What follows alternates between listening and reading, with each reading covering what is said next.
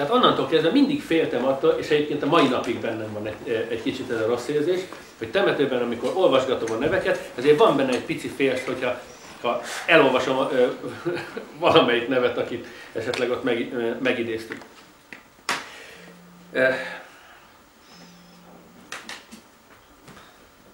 Igen, jó. Akkor, tehát Mátűn, ugye, tehát a tapasztalatokról. Tehát mi egy ilyen filozófia órán egyszerűen csak játszadoztunk. Semmi tapasztalatunk nem volt, semmi előzetes tudásunk nem volt. Valaki elmesélte, hogy hogy kell ezt csinálni, működik. Lényeg azt, hogy ezt elmondtuk utána az évfolyamtársainknak, és hát voltak vietnámi évfolyamtársaink is, és ott mondta az egyik vietnámi srác, hogy jaj, ilyen játékot mi is szoktunk játszani otthon Vietnámban, csak mi ezt egy kicsit bonyolultabban adjuk elő.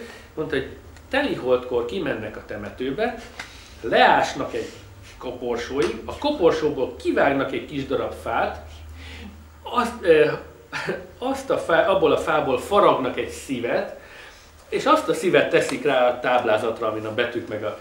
Na és, és azt a szívet tologatják.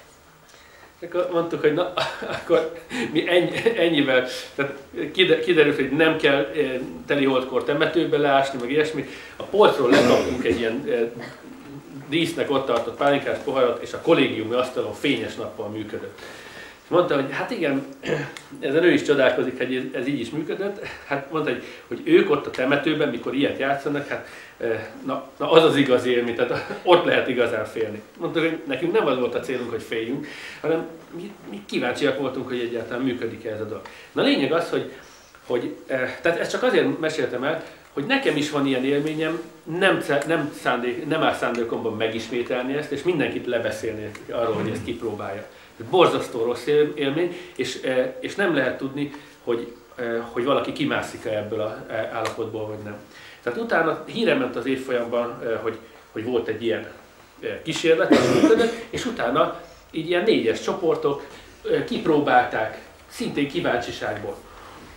És, és jöttek ki durva, durva dolgok, amikor valakihez a tehát egy valakihez, aki ott, ott, ott ült a négy közül, személyesen hozzá kezdett beszélni a szellem, a mit én, déd nagyapja nevében, vagy déd nagymamája, nem, nem tudom, van még dédszülője nevében.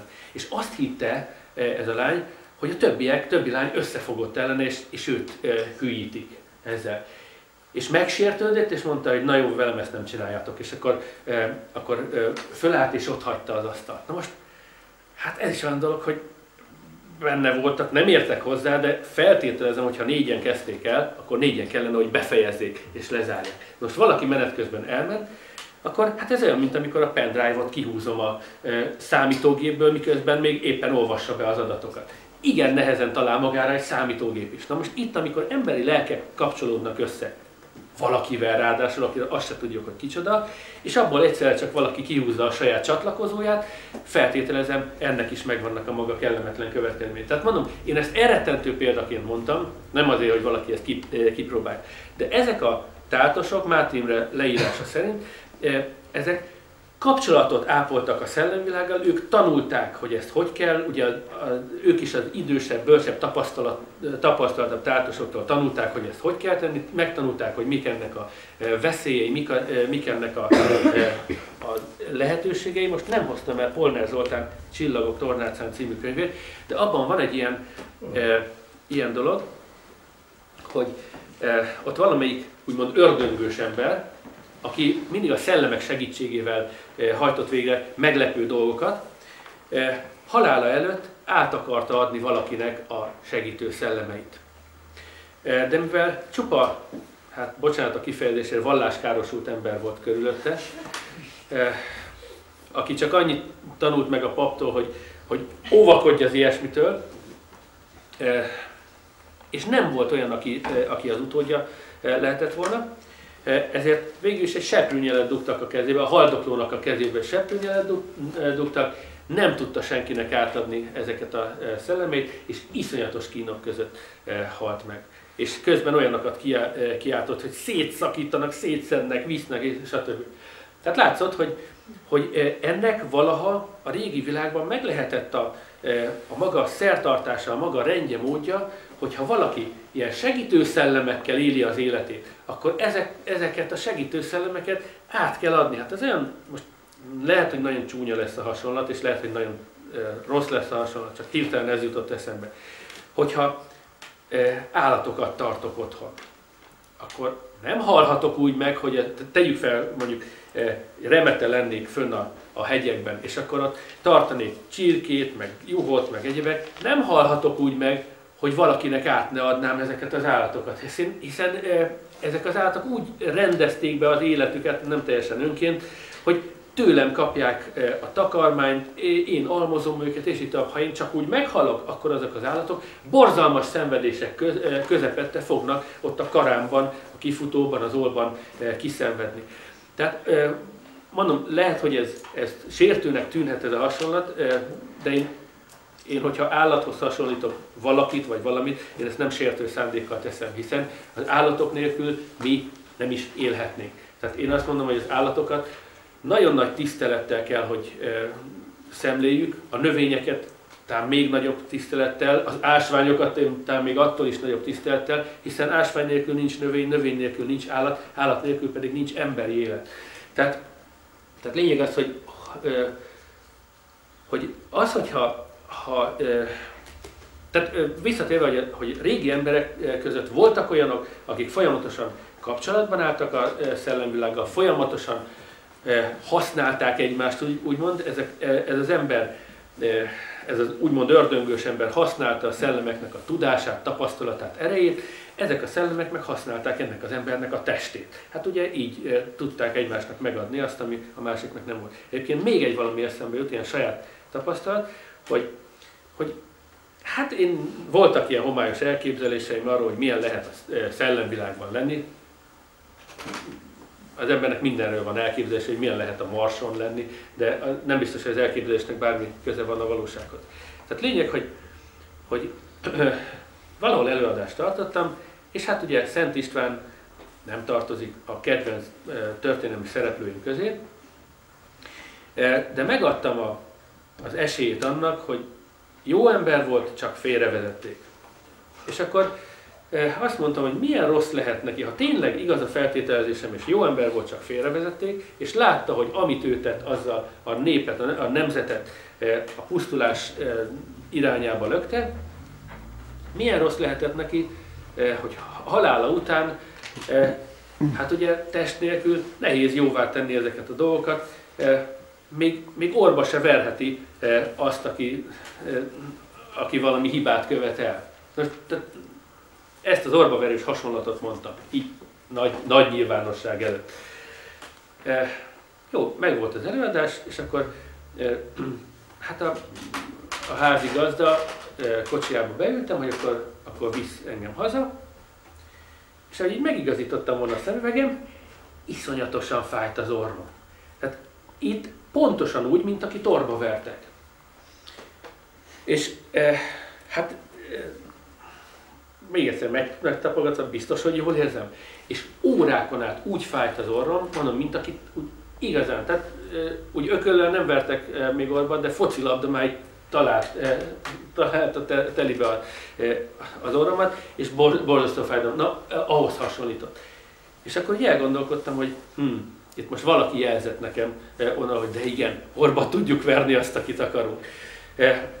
Tehát mondom, ilyen pici kis tapasztalat morzsáim nekem is vannak, hogy létezik valamiféle szellemvilág, és van, van kapcsolat velük, csak hát van, aki csak érzi őket, van, aki látja is őket, van, aki se nem érzi, se nem látja, de attól még igenis létező világ. Na lényeg az, hogy a tátosoknak valószínűleg ettől sokkal komolyabb tudása volt a szellemvilágról, és ők leírták azt, pontosan megtanították azt mindig az utódoknak, a tanítványoknak, hogy halála után az embernek, az ember lelkének, vagy szellemének, most nem akarok ebbe se belemenni, hogy a lélek és a szellem között mi a különbség, bennem egy picit összemosódik a kettő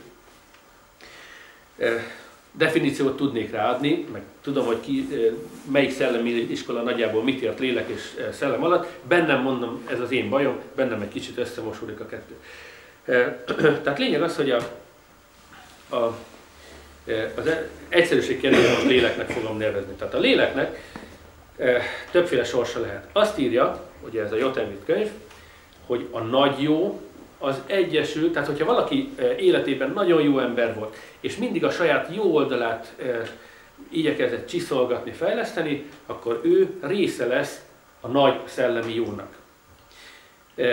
Aki nagyon rossz volt, és ebben a rosszaságban csiszolgatta magát tökére, ilyen, mit tudom én, nagy sikasztó művészek, meg, meg ilyen egyéb lélekmérgező emberek, azok meg hát bekerülnek haláluk után ugye a nagy rosszba.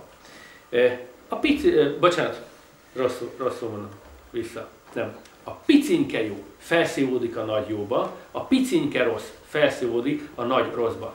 De aki jóként tökéletesre csiszolta magát szinte, vagy aki rosszként tökéletesre csiszolta magát, az nem szívódik csak úgy be a nagy jóba vagy a nagy rosszba, hanem az vagy egy az egyben megy tovább az útján, tehát újra megszülethet.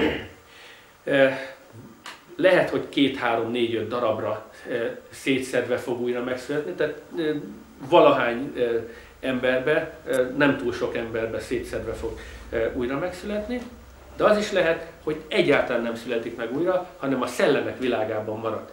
És onnantól kezdve sugallatokkal fogja segíteni azokat az embereket, akiknek a lelki alkata az övével egy húron pendül.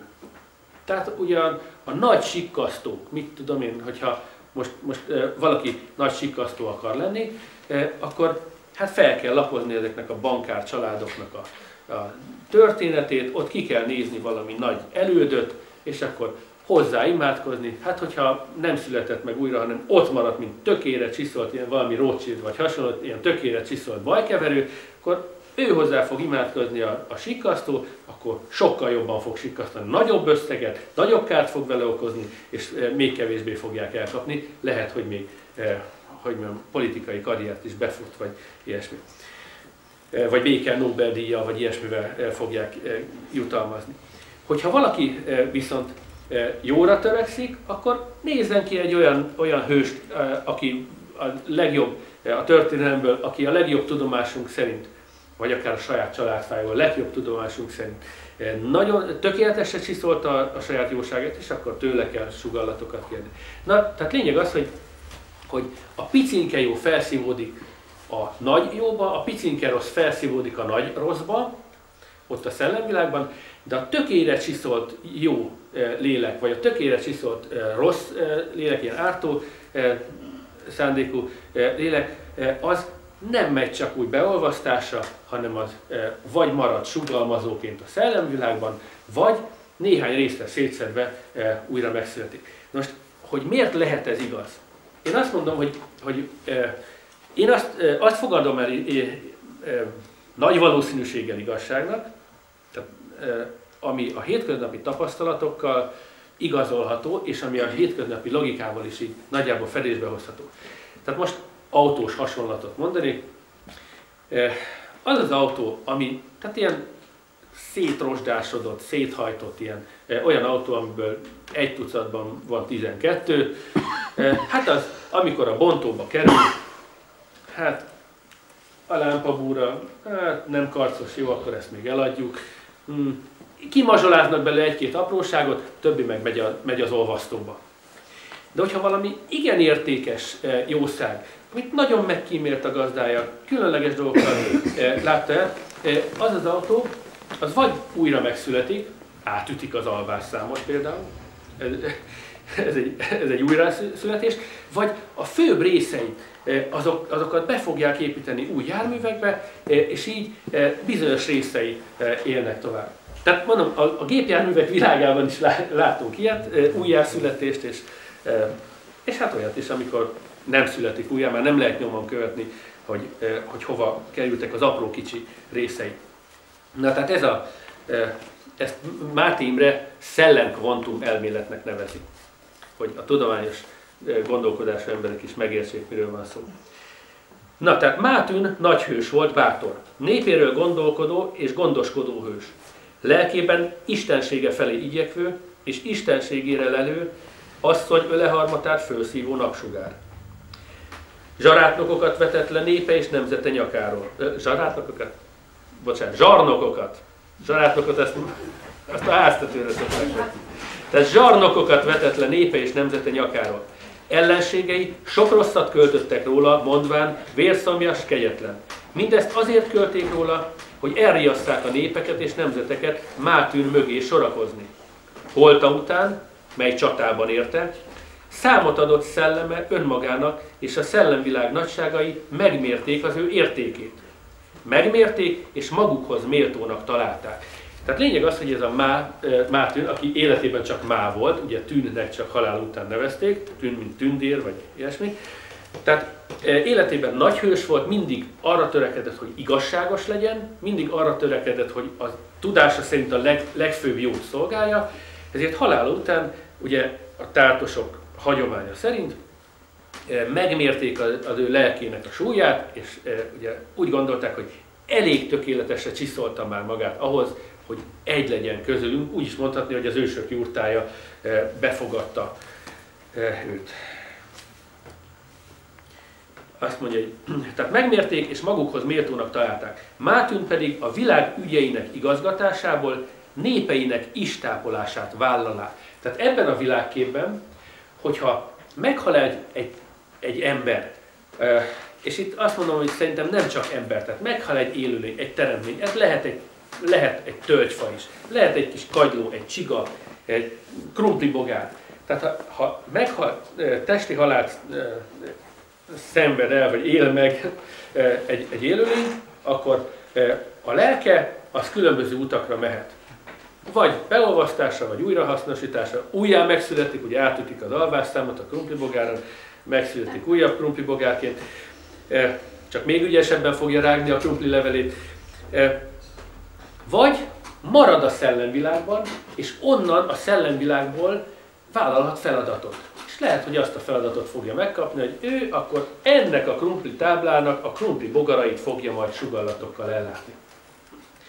Egyébként ez nagyon komoly magyarázatot adna arra, hogy miért van az, hogy a krumpli bogár, eh, de nem csak a krumpli bogár, a gyomnövények is, ugye eh, a krumpli bogárat lepermetezték 50-es években DDT-vel.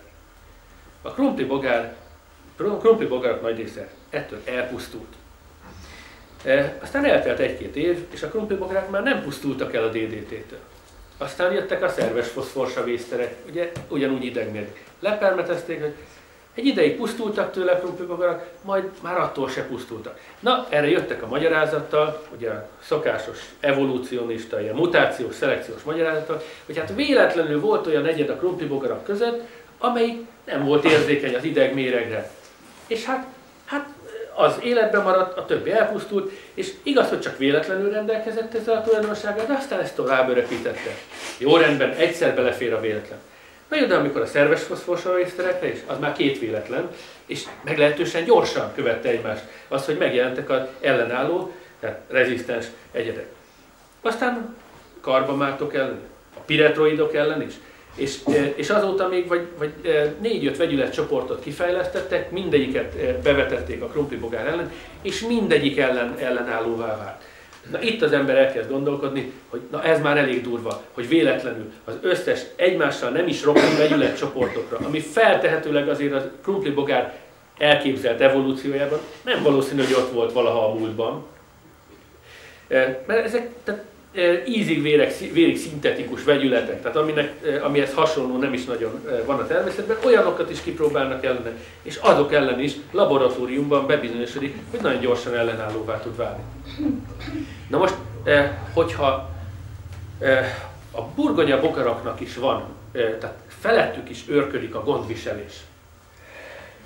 Tehát a burgonya bogaraknak is van égi őrszelleme, akkor ez az égi őrszellem e, ebben egyesült, tehát a elpusztult burgonya bogarak, de lehet, hogy még életükben is folyamatosan küldik be a tapasztalataikat e, az égi őrszellemüknek. És ez oszt, számolgat, és azt mondja, hogy na, akkor ezeken a géneken itt kell valamit változtatni, és akkor egy-két kiválasztott egyedet, akinek jó, e, aki a sugal, sugallát, mert próbál sugalni mindegyik burgonyabogárnak, amikor azok az ivarsejt képzésen dolgoznak, Tehát a többség az nem érti a sugallatot. Így vagyunk ezzel mi is, hogy lehet, hogy Mozart is sugalna a legtöbbünknek, hogy írjál már szimfóniát, de a többségünk nem ír szimfóniát. Aztán egyszer csak megszületik valaki, aki meghallja a sugallatot és megírja a szimfóniát, amit Mozart diktál neki onnan a szellemvilágból. Tehát lényeg az, hogy hogy a burgonya bogárnál is én így képzelem az égi őrszellemű, szépen sugallatot küld minden burgonya bogárnak, amikor azok az ivar sejteket képezik, hogy ezt a tulajdonságot ne örökíts tovább, erre nem lesz szükség, na azt viszont igen, de változtass rajta egy kicsit, mert most olyan enzimre lesz szükséged, amire korábban nem volt szükség. Tehát lényeg az, hogy, hogy e, a sok millió burgonya bogárból lesz egy-kettő, amelyik meghallja, megérti ezt a sugallatot, és végre is tudja hajtani és egyszer csak a következő nemzedékben megjelenik eh, az a burgonyabogár, ami már az új vegyszerre is eh, ellenálló. Gyomnövényeknél is ugyanezt tapasztalják a mezőgazdászok, hogy akármilyen kifinomult eh, vegyi támadást intéznek a növények ellen, vannak olyan gyomnövényfajok, hát gyomnövény, tehát azt szokták gyomnövénynek bélyegezni, ami ott nő, ahol nem akarom, vagy olyankor nő, amikor nem akarom. Egyébként tényleg ez a meghatározás, csak, csak szebben fogalmaznak, de ez a lényeg, hogy ami ott nő és olyankor nő, ami, ami nekem nem tetszik, na az a gyom. Tehát lényeg az, hogy egy gyomnövénynek bélyegzett szántóföldi, ilyen szándékosan nem vetett, nem ültetett növények között is van olyan, ami minden elképzelhető gyomírtószerre rövid időn belül ellenállóvá tud válni. Most itt is én azt mondom, hogy, hogy a szokványos genetikai magyarázat, hogy hát a véletlen mutációkkal, hát olyan sok egyed van, véletlenül belefér. Hát akármilyen sokan kezdünk el véletlenül számítógépet bütykölni, nem fog sikerülni.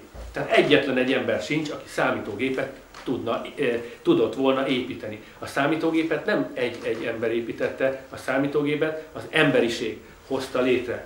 Valamilyen sugallat hatására, nem feltétlenül jó indulatú sugallat, ez már mindenkinek legyen hite szerint, de valamilyen sugallat hatására. Voltak emberek, akik erre a sugallatra vevők voltak, és maguk se tudták talán, hogy miért, de leküzdhetetlen vágyat éreztek arra, hogy, hogy bütyköljenek olyan dolgokat, ami majd az ember helyett számításokat végez, és jó.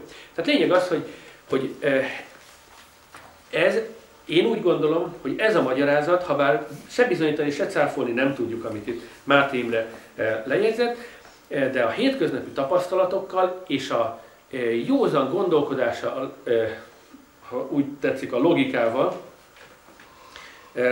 teljesen fedésbe hozható. És nem csak az embernél, hanem bármilyen élőlénynél. Égi őrszellemek nélkül gond, eh, tehát ilyesfajta gondviselés nélkül egyszerűen nem tudjuk meg, vagy megmagyarázni a világ jelenségeit. Viszont, hogyha oda tesszük a gondviselést eh, minden fajhoz, minden élőlény csoporthoz, eh, innentől kezdve kerek és érthető a világ.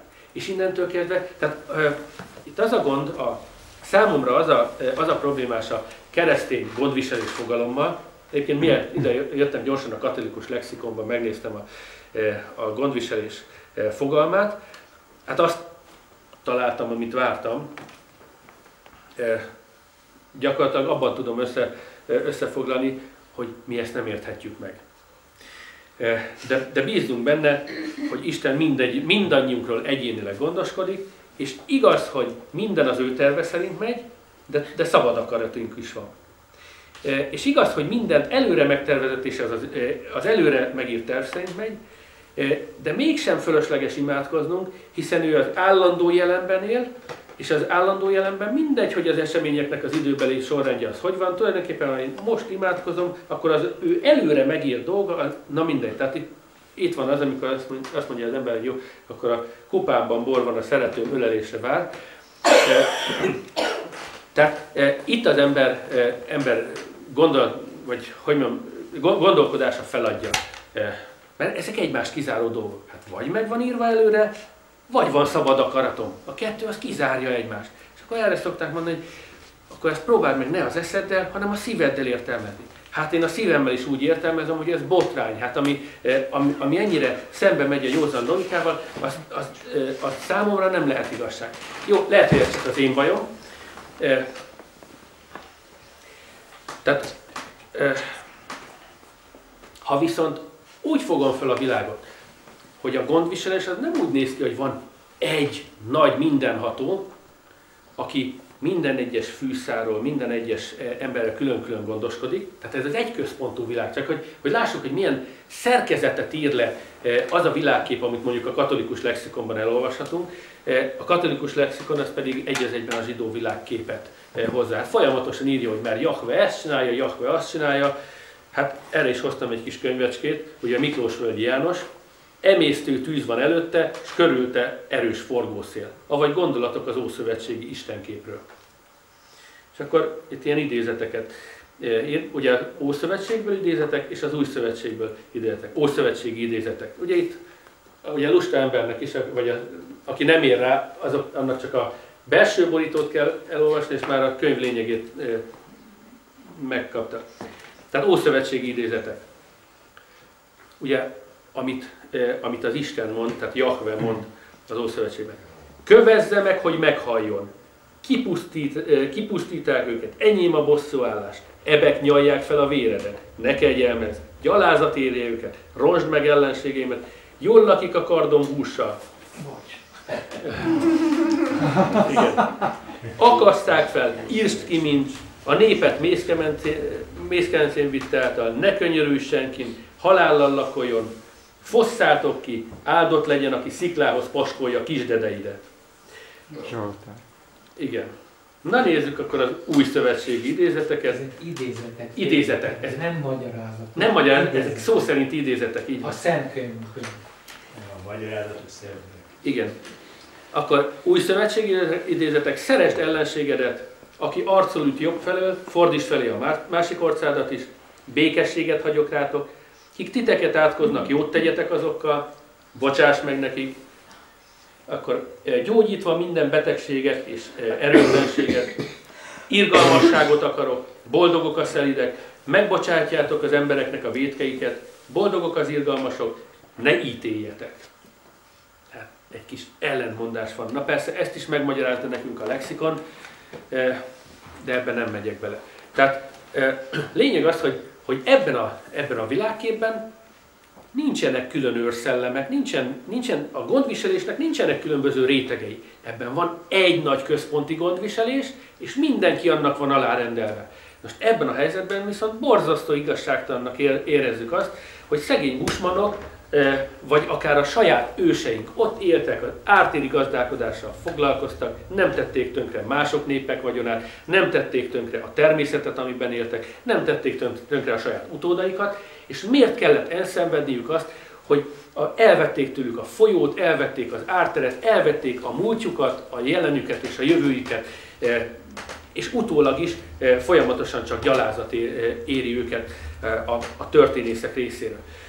Na most hát ebben az esetben az ember úgy érzi, hogy a gondviselés, mintha megszűnt volna.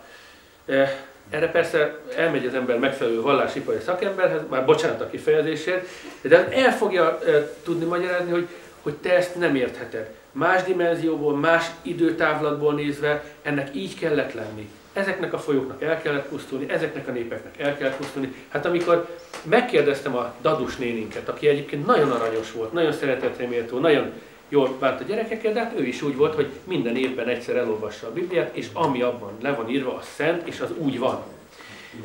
És kérdeztem tőle, hogy, hogy eh, hogy, van, hogy van az, tehát hogy jön össze az isteni gondviseléssel, szeretettel, amikor az Úr népeket írt ki a kisdedektől az öregekig, hogy fér ez össze? És akkor azt mondta, hogy eh, jobb volt azoknak az embereknek meghalni, mint hogy tovább vétkezzenek. Eh, aztán másik ilyen, eh, tehát has, hasonló magyarázatokat eh, kaptam ez, ezekre a eh, igazságtalanságokra. Vagy ugye a Jehova tanúi is szoktak hozzánk járni. Ugye, igen, őrtorony. Mit gondol Isten a háborúkról? Természetesen elítéli őket. De felmerül a kérdés, és mit gondol Isten azokról a háborúkról, ami a Ószövetségben van? És akkor ott leírja, hogy, hogy hát az más, mert... Hát Igen. Itt van. Mit gondolt a háborúkról a régmúltban? A nép elnyomástól szenvedett. Bár újra és újra imádkoztak Istenhez, nem javult a helyzetük. Legalábbis nem azonnal. Na most azért, hogyha megnézzük, nem azonnal, ha itt a nép alatt Izrael népét érti, én úgy tudom, hogy a mai napig eh, nem a boldogságban úsznak. Lehet, hogy a politikai hatalomban úsznak, meg a gazdagságban úsznak, de a boldogságban legjobb tudomásom szerint nem úsznak. Eh, szenvednek attól, hogy, hogy az egész világ eh, gyanakodva, írtózással, gyűlölettel néz rájuk, vagy legalábbis hát hasonlóan vannak vele, mint amikor nekem rossz a lelkiismeretem, és akkor ha keresztülődésben rám kiabálnak, akkor úgy érzem, hogy na, ők is azért kiabáltak rám, mert valamit a munkahelyen én nem lelkiismeretesen csináltam. Na most nekik is úgy tűnik, hogy a kollektív lelkiismeretük nagyon rossz. Na most ezt a nagyon rossz lelkiismeretet próbálják fegyverrel, politikai befolyással, pénzzel, mindenfélével valahogy enyhíteni, próbálják magukat bebiztosítani, hát nem sikerül. Tehát minél durvább fegyvereket találnak fel azért, hogy másokat sakban tartsanak, annál e, kisebb biztonságban érezhetik magukat. Hát ugye ők találták fel az atombombát, ugye a nukleáris fegyver. De innentől kezdve viszont a nukleáris fegyver igen könnyen eljutatható e, bármelyik e, szerintük nagyon, nagyon fontos és megvédendő területre. Tehát, hogy mondjam, a terrorizmusnak a, az eszköztárát is, e, akár a szellemi, akár a fizikai eszköztárát is legjobb tudomásom szerint ők e, hozták létre, és ez bármikor ellenük fordulhat. Egyelőre nem történt meg, úgy tudom, de bármikor ellenük fordulhat. Na, tehát mindez az izraelitákkal történt, akik akkor Isten népe voltak. A hatalmas egyiptomi nemzet zsarnokoskodott felettük. Az izraelitek évekig várták, hogy Isten véget vessen az egyiptomiak uralmának. Végül, amikor azt Isten jónak látta, tetrekelt. A Biblia beszámolója szerint ő maga viselt hadat az egyiptomiak ellen. Szörnyű csapásokkal sújtotta Egyiptomot, majd az egyiptomi király és a hadsereget elpusztította a vörös tengerben. Jehova Isten vitéz harcosként cselekedett a népe érdekében. Tehát itt tisztára mossa, hogy az más volt. Hát amit Jehova indított el háborút, az természetesen Jehovának tetsző volt, de azért később leírja, hogy de, de onnan tudhatjuk, hogy ő nem, itt, itt van. E, hogy, ugye azt mondja, hogy, hogy sokat, sokan úgy gondolnak ezek után Jehovára, hogy, hogy rossz indulatú volt. De azt mondja, hogy, hogy nem. Istennek nem okoz örömet az emberek halála, még a gonoszoké sem és ezt bibliai idézettel, ugye Ezékieltől idéznek, Ezékiel könyvében, azt mondja, nem gyönyörködöm a gonosz halálában, inkább abban gyönyörködöm, ha a gonosz megtér útjáról és életben marad. Hát ez nagyon szép, de hát látszólag nem ad esélyt a gonosznak, hogy megtérjen az útjában, hiszen ha e, ismerős az egyiptomi kivonulási történet, hát ott az volt, hogy elküldi Mózest a fáraóhoz, menj el a fáraóhoz, és kért, hogy a népedet bocsássa szabadon de én megkeményítem a fáraó szívét, és nem hallgat rátok. És ekkor, eh, el, bocsánat, eh, vagy ekkor mindenféle ítéletekkel, eh, csapásokkal fogom sújtani Egyiptomot és népét. Tehát világosan le van írva a Bibliában, hogy szó sincs arról, hogy, hogy a gonosz abban, abban segíti, hogy megtérjen útjáról, hanem kifejezetten politikai provokátor, tehát amikor a fáró hajlan arra, hogy elengedi Mózest és a népét, akkor Jehova megkeményíti a fáró szívét azért, hogy legyen jogcíme a büntetés végrehajtására. Tehát egész egyszerűen nem igaz, eh, amit itt írnak. Persze, a Zsolt, eh, tehát, eh, lehet ilyen Zsoltár idézeteket találni, ahol úgy tűnik, hogy nem gyönyörködik a gonosz halálában. Igen. Na nézzük tovább Mátűn sorsát, a magyarok eh, istenének sorsát. Tehát azt mondja, hogy Mártin pedig a világ ügyeinek igazgatásával népeinek istápolását vállal Emiatt szól a ő, szellemét idéző tátosaihoz. Vállaljatok el Magúr Istenének. Elvállalunk, felelék azok. Ha vállaltok, én is vállalak titeket. De csak ha istenségemhez legalább ugyanannyit adtok nekem, mint amennyi a saját istenségem. Hogy hatalmam leengyen, ég és föld közt, tikteket oltalmazandó. Összeadjuk magunk istenségéből, felelék azok, és kérdezik, mit cselekedjenek ennek véghezviteléért. Mátűn pedig, aki életében csak má volt, tűn az a szellem később leende, nagy titkot árul el neki. Minden Isten olyan erős, mint amennyire hisznek benne, mint amennyire szítanak hozzá népei. Tik azáltal szítanátok hozzám, ha nem fogadnátok be szívetekbe más isteneket, hanem követnétek a törvény szavát, mely azt mondja.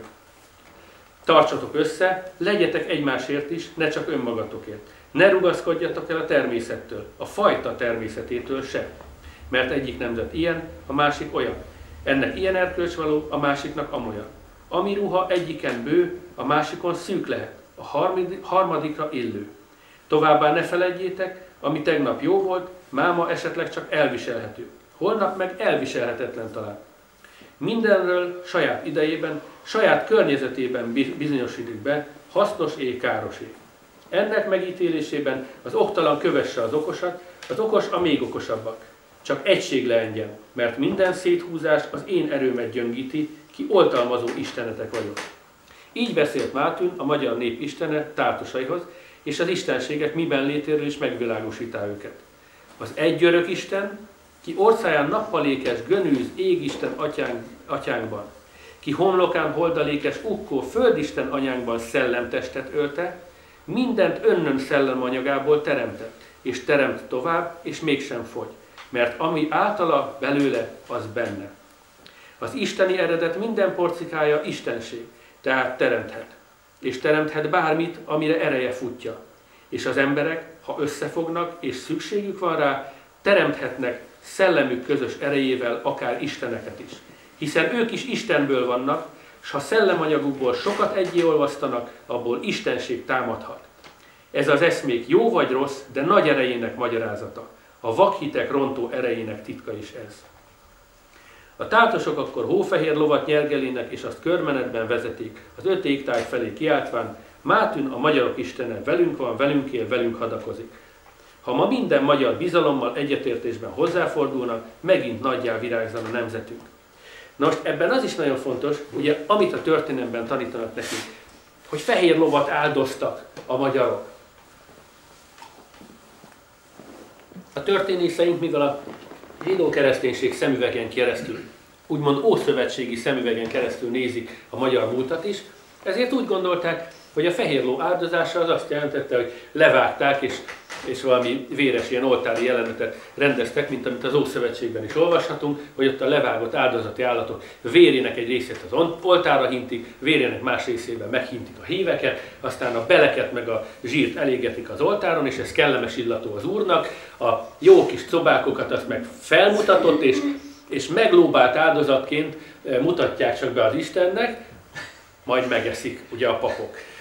Tehát, na most zsidó mintára akarják átírni a történészeink részben szándékosan, részben tudatlanságból a magyar múltat is. Most Máté Imre könyvére nagyon sokan haragszanak.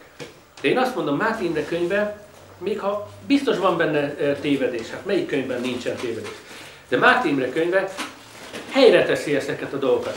A magyar ember legjobb tudomásom szerint írtózik az ilyen, ilyesfajta e, szertartásoktól. Tehát, mert az, hogy disznőlés, az más. Azt a disznót azért vágjuk le, hogy megegyük. Nem azért, hogy felmutassuk, meg a, beleit elfüstölögtessük, e, hogy kellemes illatú legyen az úrnak.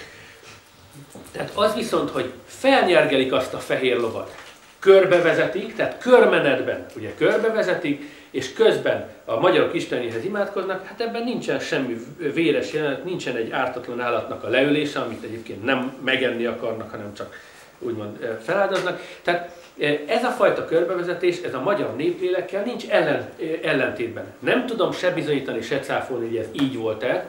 Ez csak, mondhatjuk, ez csak egy könyv, amiből én betűket olvasok föl. De hogyha felolvasom az Ószövetségből az áldozatokkal kapcsolatos részeket, akkor a szívem azt mondja, hogy, el, hogy ez nem az enyém. Ha viszont elolvasom, amit Máté Imrénél olvasok, a szívem azt mondja, hogy ez az enyém. Hogyha az eszemet kérdezem meg, akkor a Biblia is betűkből áll, Máté Imre könyve is betűkből áll, én egyikről se tudom bebizonyítani, hogy melyik mennyire hiteles. A Bibliáról azt tudom mondani, hogy ez sok száz éves, pontosan hány, sok száz éves szövegek vannak benne, Máté Imre könyvéről meg azt tudom mondani, hogy legalább 9 éves, mert 2006-ban eh, vettem ezt a példányt. Tehát, tehát az életkoráról tudok valamit mondani, de a benne lévő eh, idézeteknek az igazságtartalmát én eh, leginkább az érzelmi alapon, a szívemen keresztül tudom megítélni, és én azt mondom, hogy ez, amit itt olvasok, ezt elfogadom sajátomnak. Az, amit az Ószövetségben olvasok, hogy ugye fröcsköljük az állatvérét ide-oda, a hívekre, meg az oltára, égessük el a beleit, vagy az új szövetségben, amit Pálapostolnál olvasok, hogy ugye Jézus Krisztusnak azért kellett meghalnia, mert ő, ő ezt csak így jobb, hogyha szó szerint idézem, mert esetleg hihetetlen lenne, hogy, hogy ilyen tényleg benne van. Azt mondja, hogy mert ha a bakoknak és bikáknak a vére, meg a tehén hamva, a tisztátalanokra hintetvén megszentel a testnek tisztaságára, mennyivel inkább Krisztusnak a vére, ugye ezt Pál apostol írja, aki nem volt apostol, és egyébként zsidó volt, és keresztény üldöző volt, csak aztán átigazolt a másik oldalra.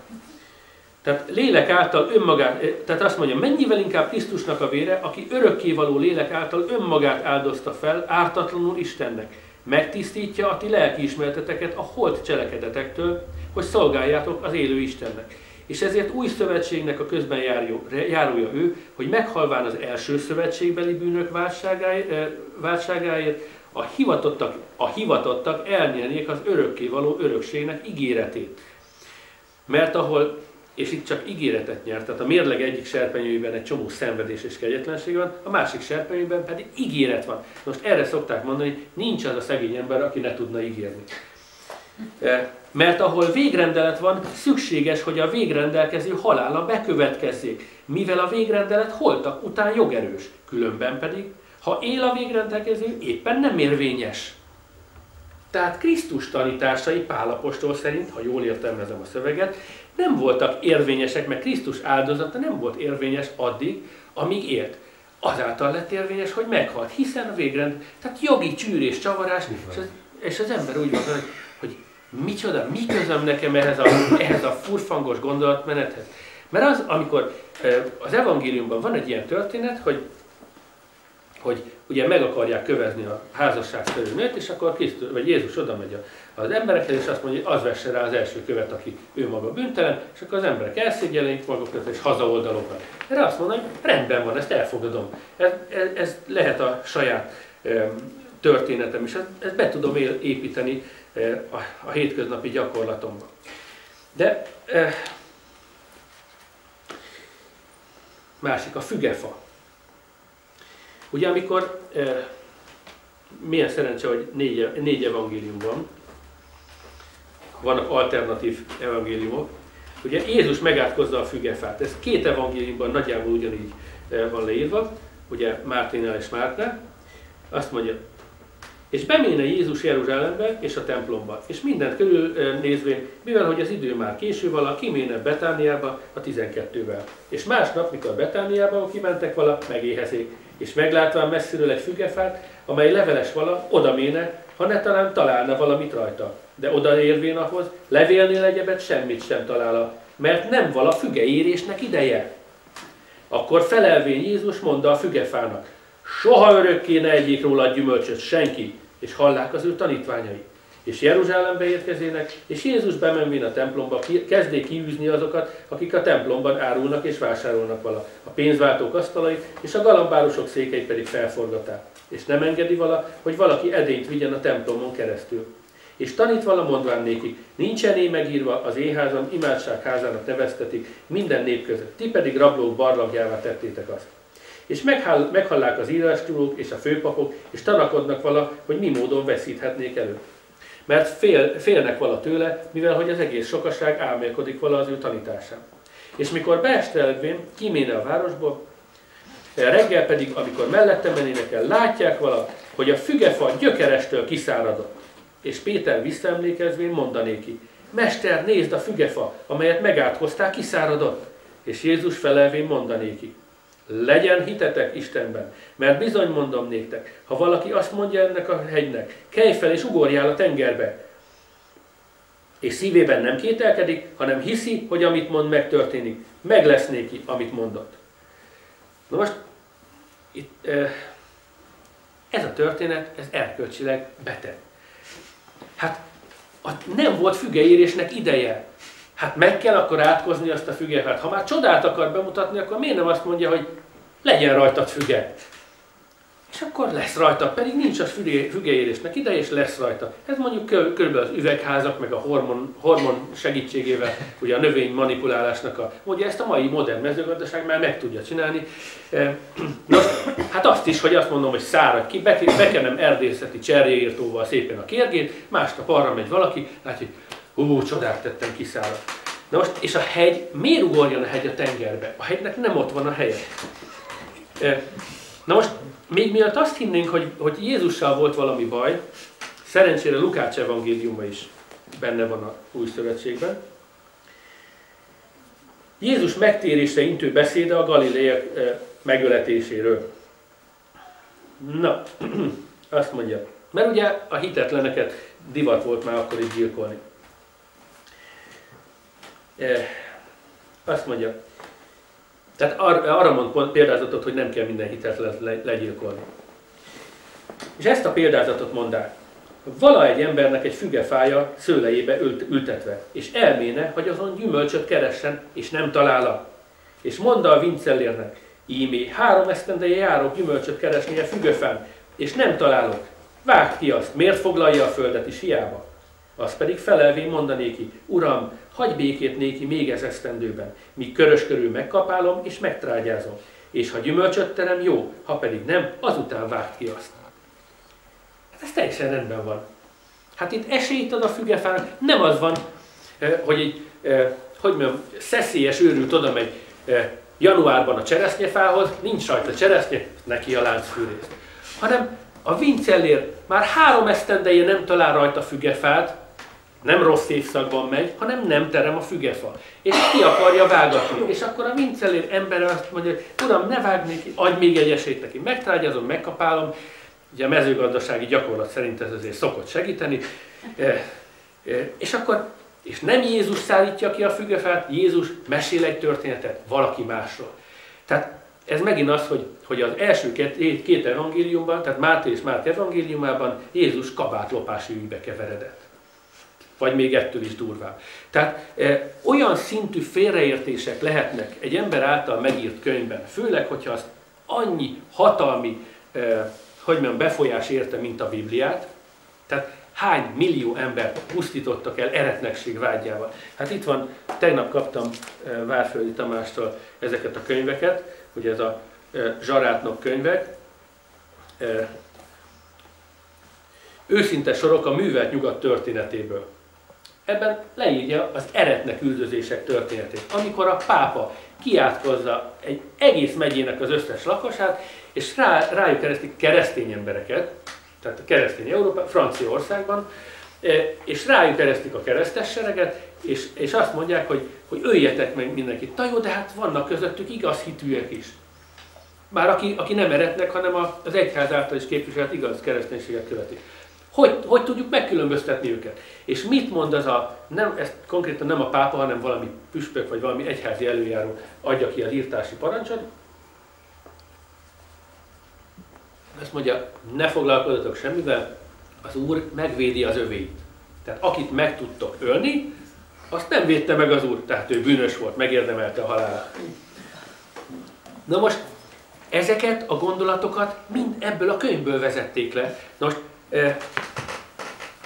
gyümölcséről ismerszik meg a fa, áll szintén ugyanebben a könyvben. Hát, hogyha ebből a, ebből a könyvből le lehet vezetni azt is, hogy mindenkit szeretek, és le lehet azt is, hogy nyugodtan mindenkit megpróbálhatok megölni, mert akit az Úr sajátjának tart, azt megvédelmezi. Vagy ha nem védelmezi meg, az se baj, mert akkor is majd a feltámadáskor ugye az örök életre fog kinyílni a szeme. Tehát gyakorlatilag bármit nyugodtan, bármit bárki nyugodtan megtehet, itt nincsenek elkölcsi eh, gátak. Legalábbis én így értelmezem. És mondom, ha elfogadom azt, hogy gyümölcséről ismerszik meg a fa, akkor eh, ez a fajta teológia, ez a fajta világnézet, ez gátlástalan pusztítást okozott minden földrészen, ahol, eh, ahol megjelent. És mondom, nehogy véletlenül valaki összetévessze a könyvben szereplő Jézusnak nevezett illetőt a történelmi Jézussal. A történelmi Jézus, hogy mikor élt, mit cselekedett, mit nem, azt nem fogjuk könyvekből megtudni. Ezt az ember mindenkinek megvan a saját maga Jézus valósága.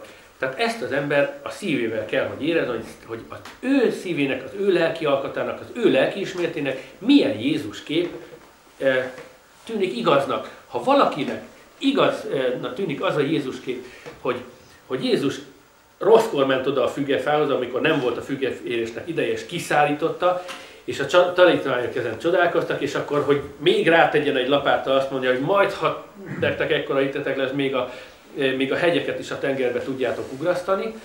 Hát ha valakinek ilyen Jézus kép elfér a szívében, akkor az ilyen ember valószínűleg simán el fogja tűrni, simán cinkosa lesz annak a fajta természetpusztító világnak, ami gyomírtóval, vagy mondom, ilyen cserjeírtó vegyszerekkel pusztítja ki azt a, azt a zajnövényzetet, ami egyébként a föld, begyógyul, föld sebeinek a begyógyulásához kellene, ami a, a, föld, ami a visszaerdősüléshez kellene.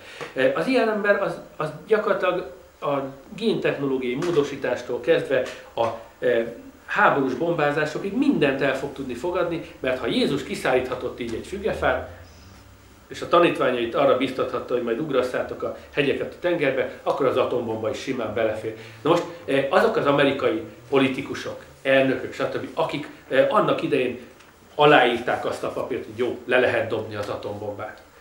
Azok történelmi tudásom szerint vallásukat gyakorló, jó keresztények voltak. Valószínűleg az ő szívükben ez a Jézus kép elfért, sőt az az ószövetségi eh, kép is elfért, elfért amiket eh, itt eh, felolvasgattam. Tehát lényeg az, hogy, hogy, az, hogy az, hogy az ember hogy fog viselkedni az életében, hogy fog döntéseket hozni, az nagyon-nagyon függ attól, hogy ő a szívében mit fogad el valóságban, és mit nem. És akkor visszatérve a gondviselésre, húha, már 10 perce utól vagyok, ez már csak a szellemem. Tologassad a poharat. Igen. Igen. Már kifordultam az Andrási útra. Majd megéljük az igazolást. Igen. Hát nem biztos, hogy elfogadja a felsőhatóság. Meglátjuk. Meglátjuk, hogy a gondviselés mit tartogat a számunkra, mire hazajön. Na, most teszteljük. Lehet, hogy ez volt az utolsó Olyan Ne kísérsz duradat is igen, igen, igen, ez is megvan írva, hogy ne kísérd az Isten. Na, szóval a lényeg az, hogy, hogy eh, én azt javaslom, és nem kötelező elfogadni, nyilván mindenki olyan gondviselés képet, olyan világképet fogadja, amit ő igaznak érez. Az én igazságom nem kell, hogy más embernek is igazság legyen. Tehát eh, én személy szerint nem tudom elfogadni azt a gondviselés képet, amikor van egy nagy központi gondviselés, és mindent ő irányít. Mert onnantól kezdve az ember óhatatlanul is Isten káromló, idő, egy idő után Isten káromlóvá fog válni. Hát ott van ez a jobb történet az Ószövetségben, amikor Isten meg a sár, vagy Jehova meg a sátán ugye fogadást kötnek. Hogy a sátán arra fogad, hogy ő el fogja tudni tántorítani az Istentől e, jobbot. Az Isten meg azt mondja, hogy nem, ő olyan e, hűséges hívem, hogy nem fogad tudni e, eltántorítani. És hát megengedi az Isten, hogy, hogy a sátán mindenféle csapásokkal sújtsa jobbot. És hát jobb elveszíti a vagyonát, elveszíti a családját, mindenféle kelések, betegségek sanyargatják a testét, és valóban eljut a végén Jobb oda, hogy elkezdi átkozni a saját sorsát, és elkezdi hibáztatni az Isten. Persze azt mondja, de nem, persze, tudod, de hát miért? Hogy, nem, nem tudom pontosan szó szerint idézni, érdemes elolvasni. Ha én ott bíró lettem volna az Isten és sátán fogadásában, én azt mondtam volna, hogy hát vagy döntetlen, vagy, vagy a sátán győzött, mert Jobb a végén elvesztette a hitét, szerintem. Megingott a hitét, pontosabban nem elvesztett, megingott a hitet a mindent át, átfogó jóságban. De Jakve úgy gondolta, hogy ő nyert a fogadásban, és mivel ő volt az erősebb, eh, ezért természetesen ő, ő nyert. Eh, és mindent jóvá tett, ugyanis jobb kapott új állatokat, új feleséget, új gyerekeket, és a régire meg fájtlat rá, nem érdekes, felejtsük el. Na, tehát lényeg az, hogy, hogy ebbe a gondviselés képbe sajnos mindenféle kegyetlenség belefér. És egy idő után az embernek meginog a hite, és, és elfordul, vagy ateista lesz, vagy ateista lesz, vagy megkeseredett ateista lesz, vagy kifejezetten Isten káromló lesz.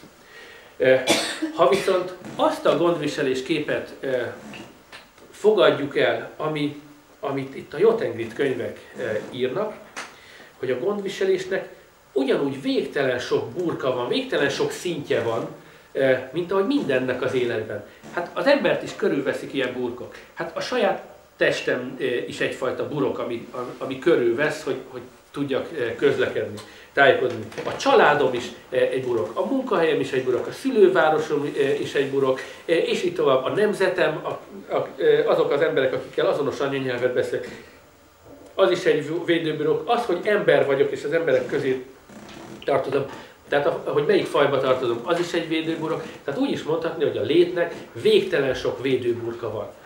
És ez szerint a felfogás szerint minden védőburoknak megvan az őrzője, a, e, minden védőburoknak saját gondviselése van. Tehát ezt égi őrszelemnek nevezheti az, akinek ez a nevezéktan tetszik. E, mit, mindenki úgy nevezi, ahogy, ahogy a szívének kedves, de a lényeg az, hogy a lét védőburkai Végtelen sok védőburok veszi körül eh, az embert. De nem csak az embert, hát minden létező lét. Végtelen sok védőburok veszi körül. És ezek a védőburkok egy nagyobb védőburokat nagyon sok kis védőburkot tartalmaz. Tehát úgy is mondhatni, hogy mintha ilyen egymásba ágyazott buborékok eh, képeznék, eh, és a buborékon belül ott van egy kis világ. A buborék felszínén is ott van egy kis világ, a belsejében is ott van egy kis világ, és ezek a egymásba ágyazódó ilyen gömbök alkotják a, a gondviselésnek a, a, a képét. Most ebben az esetben, amikor én úgy imádkozom, hogy, hogy Istenem, segíts, hogy itt tudom, hogy most ne büntessenek meg, mert figyelmetlen voltam, átmentem a piroson, de most nem akarok. Akkor nem a világegyetem urához fog fohászkodni, micsoda pofátlanság dolog lenne. A világegyetem ura, aki mindent előre megírt, hát ő úgy tervezte, hogy hogy menjen át a piroson, nyilván az isteni tervben ez benne volt, és akkor legfeljebb annyit, annyit mondhatok, legyen meg a te akarat. Megbüntetnek, megbüntetnek, nem, nem. Akinek ez tetszik, az, az éljen így, tehát az, az ettől lesz jó ember, meg ettől lesz boldog ember, meg az élet ettől lesz kerek egész. De én úgy vagyok vele, hogy nekem nem lenne képem a világ mindenség urához fohászkodni azért, hogy megúszszak egy büntetést. Vagy, vagy ahhoz fohászkodni, hogy egy kicsit figyelmesebb legyetek. Tehát én úgy vagyok vele, hogy amikor ilyen kérést intézek, akkor a saját kis személyes, nevezzük őrangyalomnak, védőszellememhez, a saját személyes Isten. Amikor azt mondom, hogy én Istenem, akkor nem azt mondom, hogy világegyetem Istene, segíts nekem, hogy a vizsgán jó tételt húzza. Nem, én Istenem, segíts abban, hogy, hogy ne legyek már lusta, meg ilyesmi. Tehát akkor a saját kis buborékomnak a védelmezőjéhez szól. Amikor a nemzetet éri valami nagy támadás, akkor szólhatok a nemzetünk védő, védelmezőjéhez, a nemzetünket és hogyha valakinek úgy tetszik, hogy ez, ez boldogasszony, akkor így nevezi meg, hogy mi a, ki az a védőszellem, aki a magyarságot védelmezi, akkor imádkozzon hozzá. Ha valaki Máté Imre könyvében annyira megtetszett neki a Mátűn kifejezés, akkor imádkozzon hozzá. Tehát lényeg az, hogy én úgy gondolom, hogy amikor a gondviselést megszólítjuk, a gondviselésnek végtelen sok rétege van, és amikor olyan horderejű kérdésben fordulunk hozzá, akkor lehet a, nagy, a legnagyobb, a végtelen nagy buborékot megszólítani, de a végtelen nagy buborékot én úgy gondolom, de inkább úgy szólíthatjuk meg, hogy hogyha valami nagyon, nagyon tetszik és nagyon élvezzük, akkor hálát érez az ember. És akkor az, az úgy kimegy a végtelenbe. De amikor a saját kis sorsomban kérek segítséget, eh, akkor, akkor ott eh, kisebb buborékokat, vagy hogy mondjam, a gondviselésnek eh, kisebb kis gömbjeit szólítom meg. Na most, hogyha megszólítom ezt a gömböt, mondjuk azt, azt a kis gömböt, ami szerintem még jogos egy ilyennél, hogy ne húzzak rossz tételt a vizsgán, és mégis rossz tételt húzok, akkor még mindig ott van az, nem kell kiábrándulnom a gondviselésből, mert egy magasabb nézőpontból, egy nagyobb buborék szempontjából lehet, hogy jobb az, hogy most megbuktam, mert annál jobban meg fogom eh, tanulni az anyagot. Tehát innen mindig van menekülési lehetőség, az ember a hitét nem veszíti el, hogyha ugrálhat a szintek között. Nem jó szintet szólítottam meg.